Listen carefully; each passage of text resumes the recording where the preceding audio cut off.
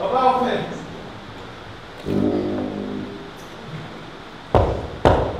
G O D. Are you ready? Are you ready? Are All you right, ready? steppers. All right, steppers. Solo.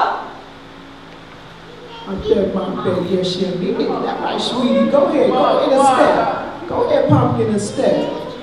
All right, now. You can do that. Yes, yes, yes. All right, now. That's how you do it. Oh, ain't me cute? That's my little pumpkin pie. King Hezekiah, solo. All right, Hezekiah. King, God bless. All right, now. We need God that. bless you. Clutch, solo. All right now, Sister Faith. All right now. I don't think that sounds right. All right now, that's the sound. That's the sound. Help yourself, sweetie. Good God Almighty. All right now, stepper, stepper, stepper. King J. L All O right. D. Yes. All right. G O D. Yes. Side. Step in the name of love. Hallelujah. One, two, three. Ninety-seven. All right. pleasure to introduce to you a great woman of God. A woman of God who has a compassion and love for God and obeys God. A woman who is on a mission, a unity to teach and preach the word of God. Our sister, our friend, our pastor, Dr. Savina Lachelle. Thank you all so very, very kindly for that very, very warm reception. Anybody feel the Spirit of the Lord? Sometimes when God moves on me, hallelujah, I can't help but to shed tears. Sometimes you might be wondering why you're shedding tears. That's the Spirit of the Lord. It's like fire shut up in your bones. Isn't that what Isaiah said? Good God Almighty. So if you feel that, that's the Spirit of the Lord that you feel it. Isn't God good? If God has been good to you, clap your hands again for the Most High God. He's been very good. Now, brothers and sisters, our topic for today is God will use your story for his glory. Now, this is part two of a two-part series that we started on last Sunday. On last Sunday, we talked about a man by the name of Job. Job truly had a story, didn't he? He had a story that I don't think no other man on the face of the earth has ever had to endure. He went from being the richest man in the whole world to losing everything that he owned in one day. He lost all of his wealth. He lost all of his children, all in one day. And if that were not enough, the devil inflicted boils all over his body from the crown of his head to the sole of his feet. And Job never, ever, ever cussed God. Even when his wife told him, why don't you cuss your God die? He never did that. He continued to bless the Lord. Even when you're going through your roughest, toughest trials and tribulations, take out the time to just bless the Lord. Say, thank you, Lord. Just tell him thank you. He will make things better. After Job endured all that he did, and he never cursed God, he never said anything bad about God, God blessed him with double of everything that he lost. See, God used Job's story for God's glory. You know, God and the devil had a little thing going on. God told the devil, you will not make my servant Job cuss me. And he never did. So God got the glory from that story. You all remember that from last Sunday? Hallelujah. You all remember a few weeks ago we talked about Abraham. Abraham was a hundred, almost 100 years old when God blessed him with that promised son. Almost 100 years old. But see, God used his story for God's glory. We all have a story. Didn't we talk about that last Sunday? We all have a story that God can use for his glory. Remember, we were put on this planet. We were born to give praises to God, to give glory to God, even though that's the last thing many of us do. That's why this world is in such chaos. Well, I want to go on to part two, part two of this two-part sermon. God will use your story for his glory. I want to talk about another prophet of God, a man by the name of Joseph. Anybody ever read about Joseph? Let me tell you who Joseph was. Let me give you a little background on Joseph. He was actually the great-grandson of Abraham. Remember, Abraham had Isaac, then Isaac had Jacob. And Jacob, whose name was later on changed to Israel, and we talked about that, he was the father of Joseph. Now, the Bible teaches us that he had a special love for Joseph. And it could have been because he had Joseph in his old age. Joseph was one of his youngest.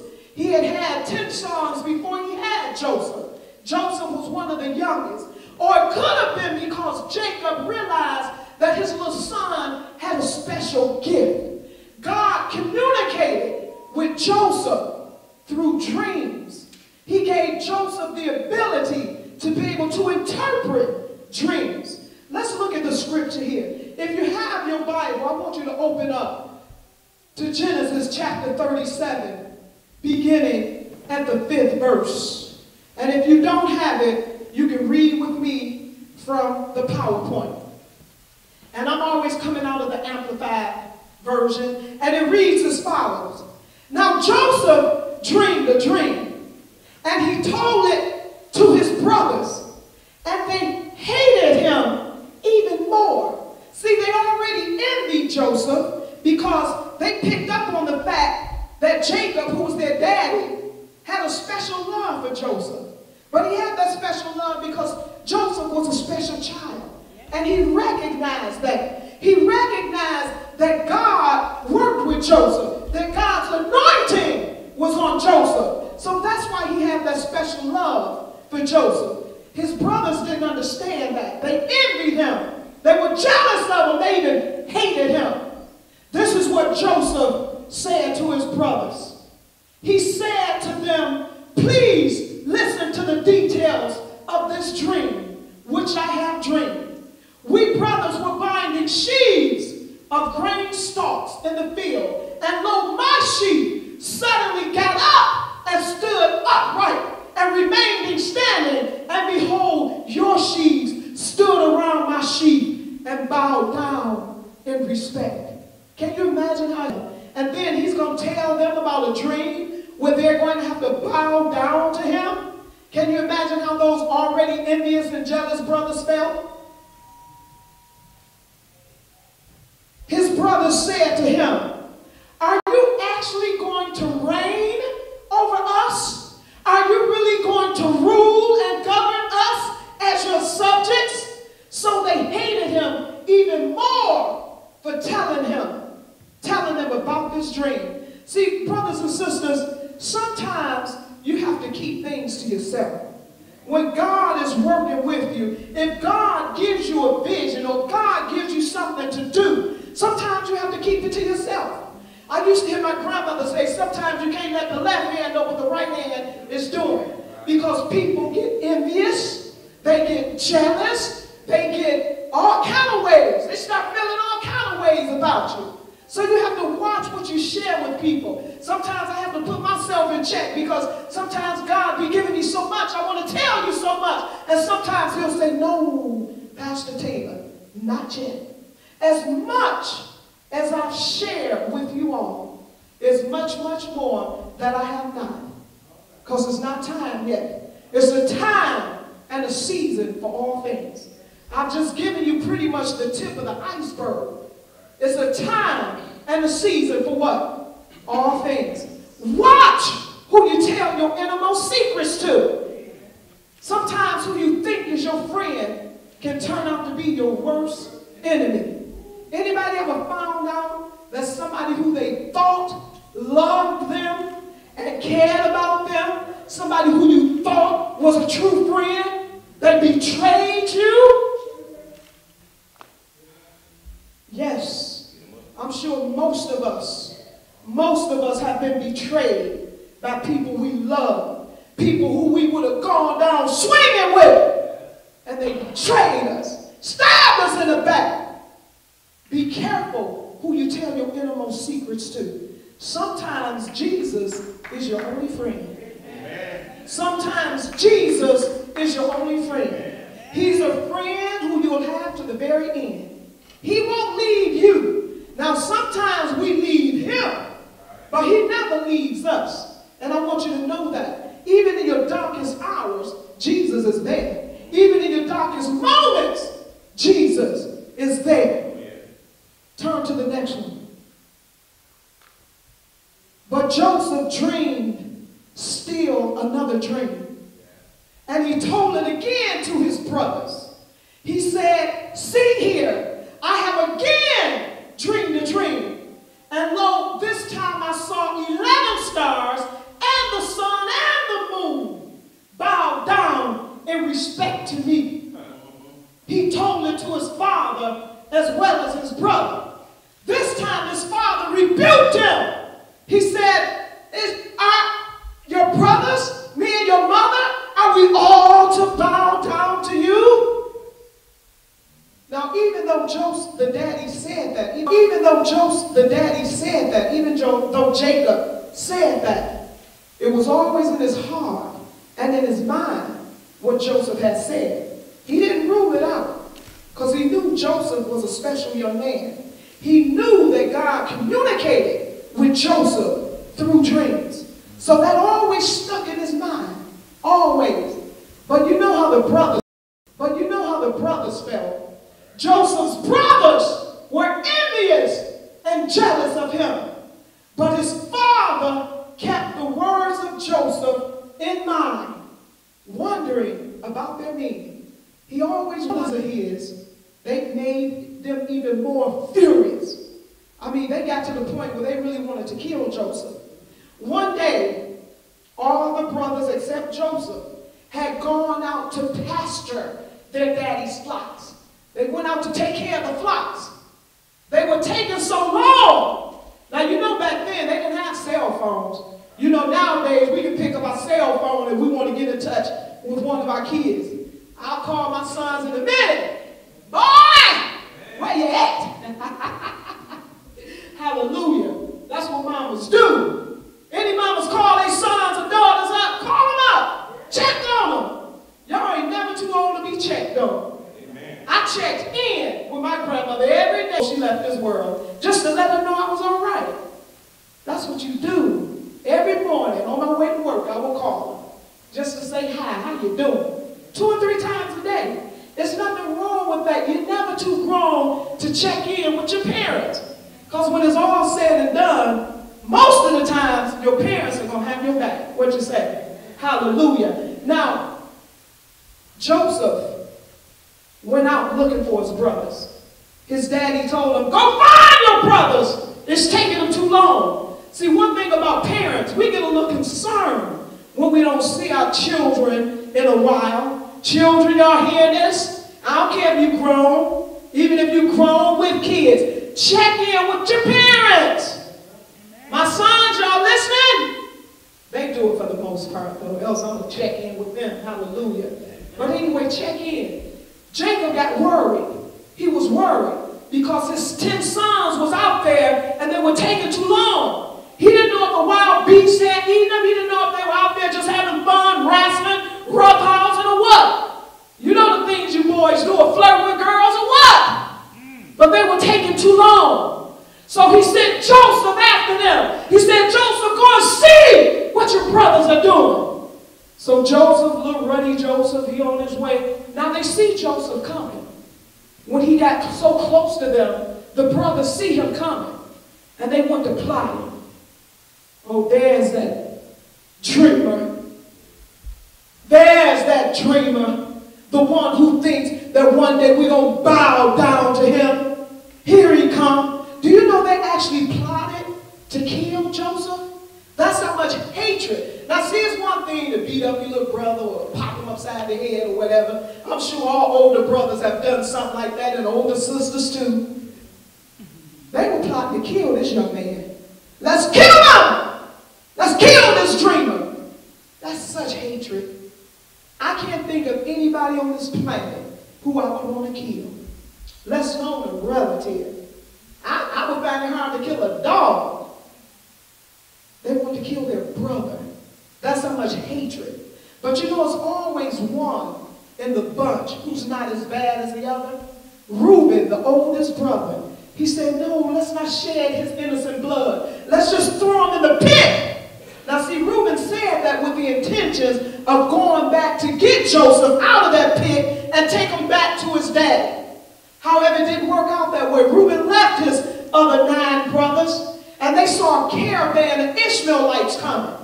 And they said, oh, we can sell, sell Joseph. We can get some money off of him instead of just letting him rot in this pit. Why not profit off of him? So they sold him as a slave to some Ishmaelites for 20 shekels of silver. Isn't that something?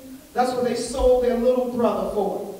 But you know what? Sometimes your story can be used for God's glory.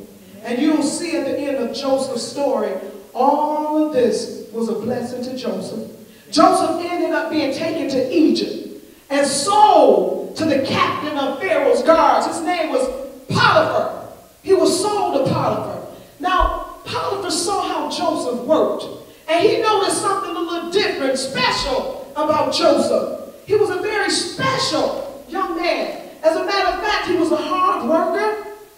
And then Potiphar started to notice his house started to be blessed because of Joseph. He started to prosper because of Joseph. His whole field became more plentiful. See, sometimes you can be blessed by who you associate with. You ever been around somebody and you say, wow, every time I'm with this person, I get a blessing.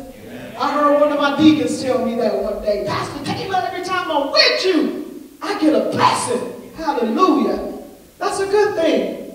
Just like sometimes we can be found guilty by association. You know how many people in prison because of who they were with? Didn't do a thing. Just guilty because of association. Well, that works the, the other side of the coin as well. You can be blessed because of your association. If you associate or if you're around people who are blessed, see that blessing will rub off on you. Blessings rub off, just like evil spirits. If you're around an evil person, that person's evil spirit can jump off on you. And spirits are real, brothers and sisters. It ain't no hocus pocus. The Bible speaks of spirits.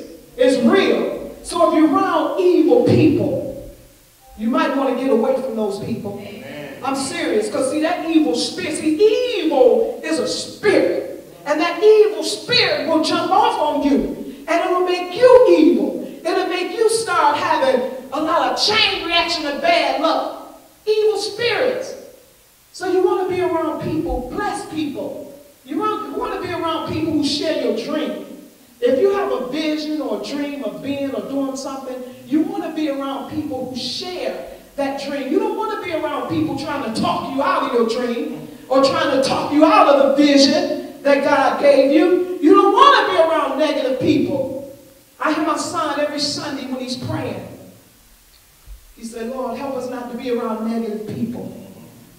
He knows what negativity brings about. Negativity is an evil spirit. It will also jump off on you and mess you up. So get stay away from evil people. Hallelujah. Now, let's see what else happened with Joseph. Go to the next one, sweetie. Brothers and sisters, I'm off the screen here. I'm just going to go from the hip here. Hallelujah. What happened with Joseph, you know, anytime you're doing something good, the devil always what? He always try to mess you up. Anybody ever been walking right? Anybody ever been doing everything that they thought was right? And then here come the devil. You can look for the devil to try and mess you up when you're doing something good. You have to be smart enough to rebuke that devil. Because see, one thing about it, if you let him ride a little bit, he ain't going to want to just ride on you. He going to want to drive you. And a lot of times he'll drive you right to the pits of hell. If you see, if you feel that devil getting on you, you get him off of you. You rebuke him. Like I had to do this one. I say, devil, leave me alone. I rebuke you in the name of Jesus. That's what you have to do. Sometimes say it two or three times. The devil don't give up real easy. You have to keep fighting him and fighting him. Joseph was doing very well in Potiphar's house. Potiphar was just really proud of Joseph. He was so proud of Joseph until he elevated Joseph. He promoted him. Joseph was second in command up under him. Now remember, he went to him as a slave. But see, God kept elevating Joseph because Joseph was a man of God. He was a young man of God. And see, God will take care of his own. Potiphar had such great faith in Joseph. Very seldom would they allow a slave to be second in command. Now, slaves will be elevated, but see, he was right up under Potiphar. Potiphar was the only one who had rule over Joseph. Joseph had rule over everybody else. Now, how did the devil seep in the crack? He came in through Potiphar's wife. Y'all know the story. He came in through Potiphar's wife. She started having seductive eyes for Joseph. Shame on her. Shame on you, woman. Good God Almighty. Here she's married to Potiphar, and she wants Joseph. Shame on you. This is what started the downfall of Joseph. Good God Almighty. Every time Potiphar would leave the house, this woman started hitting on Joseph, telling Joseph, Lord, lie with me, Joseph. And of course, he would say no. He asked her, How can you ask me to do this when your husband, who's my master, has advanced me so far and has so much trust in me? How can you expect me to defy that trust? Not only defy the trust that Potiphar had for him, but defy God's trust. See, that's even more important. When you sin, you don't just sin against that person, you also sin against who? You sin against God. And he said, How can I do this and sin against God? That didn't stop her. She was like a devil. It didn't stop. Every chance she got, she was trying to hit on Potiphar. And then one day, she grabbed his scarf. And he ran out of the room. And she still had his scarf in her hand. So when Potiphar, her husband, came home, she accused Paula Joseph of trying to rape her. And you can imagine what his what her husband said. He almost hit the ceiling. What? A slave trying to sleep with my wife? He had Joseph put in jail, had him locked up. Leave it to him, he would have thrown away the key. All over this foolish wife of his. That her. She didn't realize all the blessings that had come upon that house because Joseph was there. She didn't realize that they were being blessed because Joseph was a man of God. She didn't realize that. She let lust take over. Shame on her. She caused Joseph to have to go to jail. But guess what? Even when Joseph was in jail, God still showed him favor.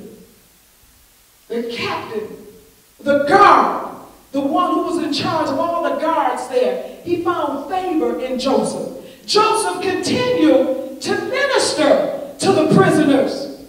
See, if God give you a gift to minister, you have to minister wherever you go. Whether it's in jail, on top of the mountain, wherever. If he gives you that charge, you have to minister wherever you go. I found myself preaching to my students a lot. They need it so bad. So bad. I realized some of them just have not been taught. First, I looked at them like, you don't know you're not supposed to do that? Then I said, bless his little heart, he really don't know. So then I have to go out of teacher mode and go into go out of teaching math mode and go into teaching social skills. They need it. See, God gave me a charge. He didn't say just do it here in the church. Wherever I go, wherever's needed, I'm going to minister. Whether it's in the hospital, the jailhouse, wherever. He gave me that charge. I have a charge to keep. I don't want God to be mad at me. Well, this is what Joseph did. He still ministered while he was in jail. There was a cupbearer, Pharaoh's cupbearer. He had been locked up. And his baker, Pharaoh's baker, had been locked up. See, back then, they could lock you up without a trial. The least little thing you did, the Pharaoh was mad at you to lock you up. That's just how it was then. Wasn't no going to court and I got a court date. You ain't got no court date. Mm-hmm. If Pharaoh say you going to prison, you going to jail. And that's what happened. He sent his cupbearer and his baker to jail. While there, they dreamed a dream. And they found out that Joseph had a connection with God. It's good to have that connection with God. Anybody got a connection with God? Everybody ought to have a connection with God. Now, ours might not be as strong as Joseph's, but we still striving, what you say. That's what we have to do. We have to keep on striving to reach the highest heights that we can. He ministered to them. He interpreted a dream that they had had, and the dream came true. He ministered to the prison He ministered to the prisoners, whomever he ministered to them. It came a time when Pharaoh's cupbearer and his baker was released from prison. And they were back on duty with Pharaoh. Pharaoh had a troubling dream, a real troubling dream that's, that just stirred his heart. I mean, the dream was so troubling, Pharaoh couldn't sleep. He could not sleep. And he asked around. Nobody could interpret his dream. Then the cupbearer and the baker, who had previously been in prison with Joseph, they remembered that Joseph had interpreted their dream. Anybody know the story?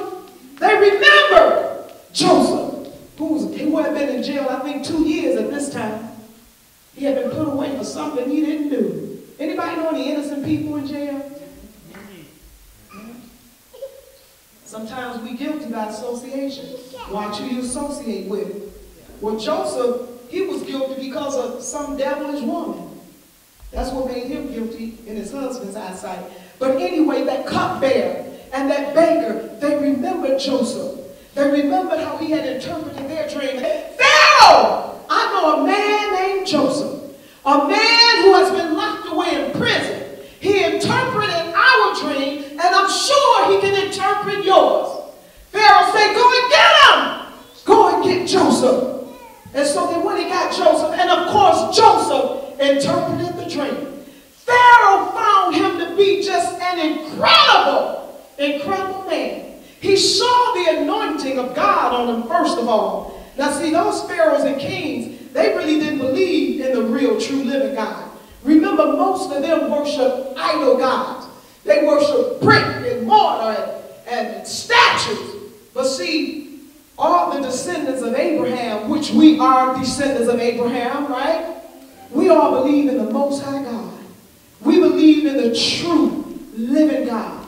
The God that you cannot see because he's a spirit, but you can surely what? You can surely feel the spirit of the Most High God. Well, this is the God that Joseph trusted and believed in. And because of his faith in God, it sort of rubbed off on Pharaoh. See, that was part of using Joseph's story for God's glory because he allowed some non-believers to become believers in God. And see, that's what our duty and job is. We're supposed to make the non-believer a believer. We're supposed to live the type of life when people see us living, they say, I want to be like that, sister. I want to be like that, brother. Know, let your light shine before men so they may see the great works of God. God's glow from you. See, that's what they saw from Joseph. And we all under construction, right? So I ain't throwing no bricks at nobody. Ain't nobody in here better than nobody else. We all under construction. We're all up under that spiritual construction. We're all striving to do a little better, right? Hallelujah. So when I say things like that, don't think I'm standing to make you feel bad. We're all in the same boat. I don't make myself to be above nobody. I don't do that. I let God elevate me. Don't ever elevate yourself. You let God do it. Hallelujah. Who am I to make myself out to be more than what I am? God. Mm. I fear him too much. Hallelujah. Joseph, that anointing that God had put upon him, it was recognized by Pharaoh, a man who didn't even believe in God. But he knew that there was something special about Joseph. And then after Joseph interpreted that dream, and you know the interpretation of the dream was there will be seven years of plentiful harvest, and then there will be seven years of famine. That was the interpretation of the dream. Pharaoh was so impressed with Joseph until he put him ahead of everybody in the whole land of Egypt. There was only one person above Joseph, and that was Pharaoh himself. That's how pleased Pharaoh was with him. Joseph was a smart man. See, while the grain and stuff was coming in plentiful, it was seven years of plenty, he stored away for a rainy day. See, there's a lesson to be learned behind that. When you're making a lot of money, when things are plentiful, don't be like some of these athletes. They go and sign $5 million contracts. As soon as the contract is over, a few months after it's over, they're broke. That's totally absurd, ridiculous. You put away for a rainy day when the harvest is plentiful. That's what I got out of this story here. When things are plentiful, put aside, because it ain't going to always be plentiful. You going to be plentiful for the rest of your life? No. Put away for a rainy day. I don't care if you're making minimum wage. Put away a dollar. Put away something. Because you never know. And see, this is what Joseph did. And when that seven years of plentiful ran out, then all the land of Egypt had no grain. All the land of Egypt had no food. You know where the only place was food at? Where Joseph had stored it. That's the only place that people were able to get food. And so what happened, they would come to Pharaoh. Pharaoh would send them to Joseph, see Joseph, and he would sell them the food. He would sell them the grain. And he made mega bucks off of that. Mega bucks. He had a little business going. And you know, I'm always trying to encourage y'all to open your own business up. We've had sermons on that before. Well, see, Joseph was a businessman. He opened up his own business. He caused a lot of people not to starve in that seven years of famine. Then his daddy, Jacob, and his brothers, the ones who had sold him into slavery, they heard that there was grain in the land of Egypt. See, they stayed right outside. They said, we got to go to Egypt. Jacob sent his other ten sons, the nine. He didn't send the baby boy Benjamin. He sent the other nine. Ten, the other ten. Go to Egypt and buy some grain, or else we will starve. When they got to Egypt, who, who did they see? Their brother Joseph. But you know what? Joseph didn't reveal himself to them at first. He recognized them, but they didn't recognize him. He sort of had his face covered because he toyed with them a little bit. Remember, these were the same ones who wanted to kill him. the same ones who threw him in the pit, the same ones who sold him as a slave. So when he saw them, he didn't just let them off the hook right away. You know, that human side came out of him. You know, we all got a little devilish in us at times. That little devilish came out of Joseph. He locked him up for three days.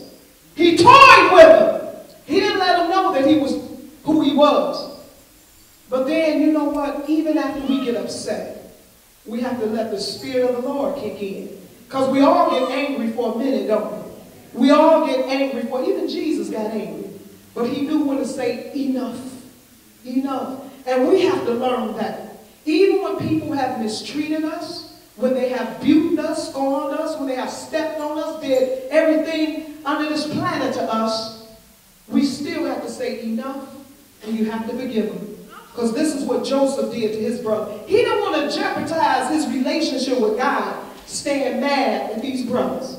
So he decided he was going to forgive them. To make a long story short, after he let them out of jail, they still he still didn't know that they still didn't know was, was the woman. He let them go home. He, he loaded up their donkeys and stuff. And then when they made that second trip back, that's when he revealed himself. That's when he revealed who he was to them. And then Joseph heart by then the Christ came in. The Christ was just overwhelmed him. He went to crying and he hugged his brothers and he forgave them. And of course he told them he loved them. And they all kissed and made up. He said, go and get my daddy. Because see, Jacob hadn't come with. Go and get my daddy. To make a long story short, the daddy, the mama, all of the children, the grandchildren, everybody in that line came to Egypt to live. And Joseph was the one who had to take care of them. Then, remember that dream he had? Did this dream come to pass? He dreamed that all 11 of them would bow down, and the mother and the father. And that dream came to pass. They all bowed down to him. They all had to do that. But Joseph took care of them. That's how they ended up in the land of Egypt, the land of Goshen. Because Joseph had them all brought there. Joseph took care of the mama, he took care of the daddy. Joseph took care of all those brothers who tried to kill him, those brothers who hated him. And Joseph ended up being their savior. He ended up being the one who gave them food so they wouldn't starve. See, if he had been a hard-hearted person, like so many of us are, he would have left them in jail. He would have let them starve. He could have fed them to the lions. He could have done anything because he had that kind of power. But see, he, he's teaching us something here. Irregardless to what a person do to you, you don't go tap the tap with a person. And I know we all get angry because I get angry for a little while, but I let it go. I say, you ain't blocking my blessing with God. You ain't going to interfere with my relationship with God. See, if you harbor stuff in your heart, see, God don't like it when you have an unclean heart. He looks at the heart. And that's what he deals. He deals with the heart. So whatever a person does to you, you have to eventually find it in your heart to forgive them. And you know why you forgive them? You forgive them for you. You don't want to harbor any bad feelings around. Because those bad feelings is like a weight. It'll weight you down. We have to be like Joseph. He got mad at first. He locked his brothers up for three days, but he let them out. He forgave them. And then he saved all of their lives. He could have let them starve because they had absolutely no food. But he had compassion. And that's what he's teaching us, to have compassion for our brothers and sisters, regardless to what they've done to you. Because they did Joseph real bad. They hated him. They had him, they sold him into slavery. They didn't know he was going to end up being next to Pharaoh. But see, God will work it out. When you're mistreated, See, Joseph had a story, but God used Joseph's story for his what? He used it for his glory. Man, come on up. He used it for his glory. Hallelujah. How many of us are going to let God use our story for his glory? Hallelujah. That's something we all have to do. We have to do what we can, but we have to ultimately leave it into God's hands because God will work it out. He has worked it out for me. He'll work it out for you. He'll work it out for all of us. Isn't God good? How often is God good? And all the time God is good. God has been stand up on your feet today. Stand up on your feet. We're going to clap our hands. Band, give us a song. And we're going to clap our hands, give God some praises. And then we're going to close out.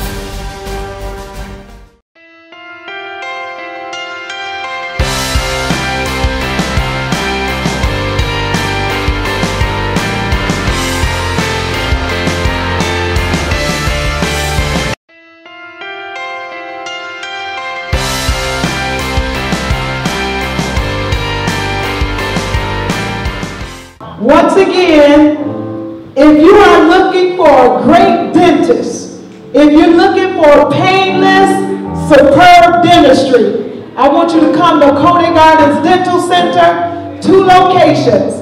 The first one is the east side location, located at 2430 East 7 Mile Road. Hallelujah, we have a great staff there again. 2430 East 7 Mile Road. That's Conant Gardens Dental Center. And the phone number is 313-893-9310. Again, 313-893-9310. Hallelujah.